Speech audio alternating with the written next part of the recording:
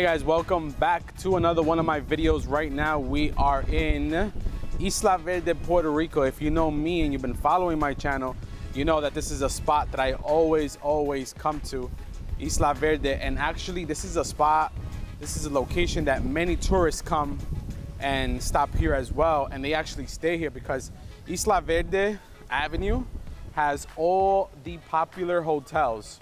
So all the popular hotels are here. So El San Juan, um, ESJ, Intercontinental, all those hotels are here at this location.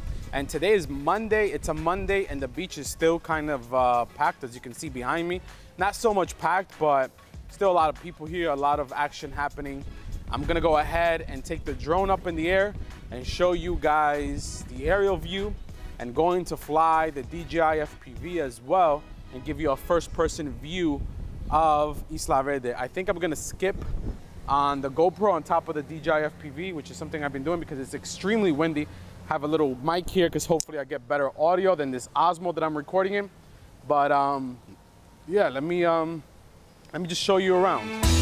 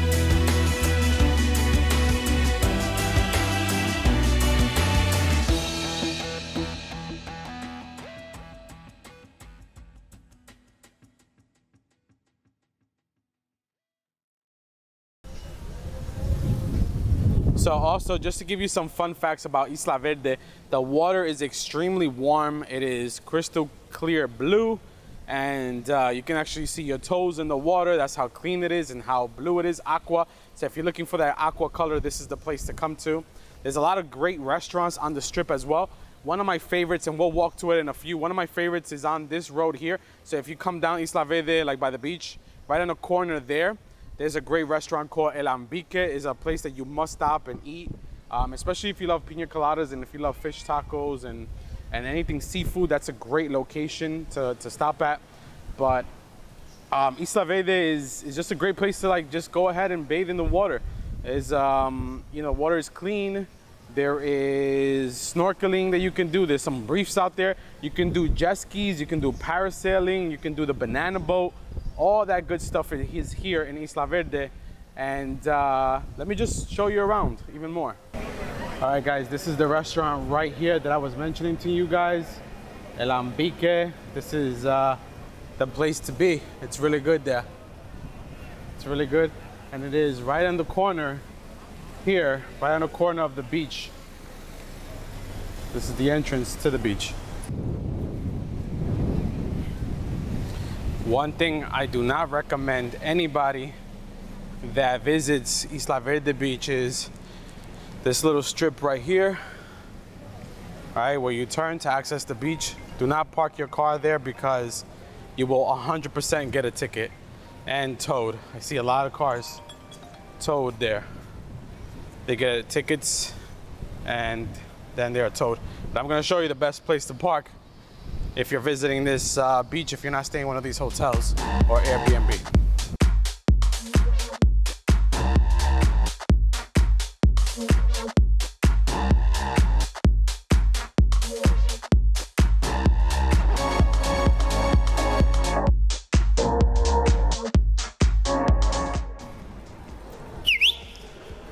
All right, so this is the main street of Isla Verde Right behind me here on my right, you have Coral Beach Towers. That's a great place to uh, stay at Airbnb. Look for Coral Beach. That's where you will want to stay if you are staying in an Airbnb. And for parking to hit Isla Verde, I'm right in front of CVS Pharmacy.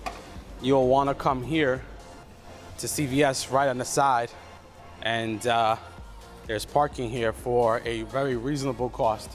And all like little restaurants that you can eat and stuff all right here, same right next to the CVS pharmacy on Isla Verde Avenue.